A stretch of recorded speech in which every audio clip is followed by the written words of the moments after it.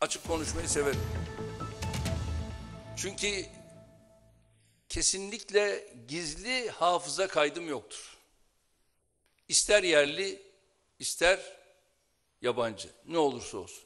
İster içeride, ister dışarıda. Açık konuşmak.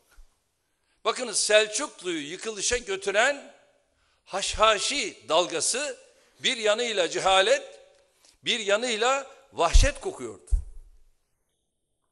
Bugün de Türkiye benzer saldırılarla karşı karşıyadır.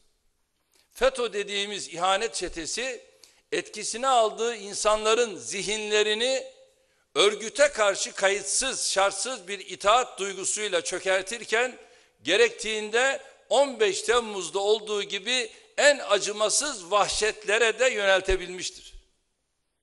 Ülkesine, milletine ve insanlığa hizmet etmek yerine zihnini ve yüreğini Amerika'da yaşayan bir şarlatana adayan mankurtlardan bilim adamı da olmaz, Müslüman da olmaz.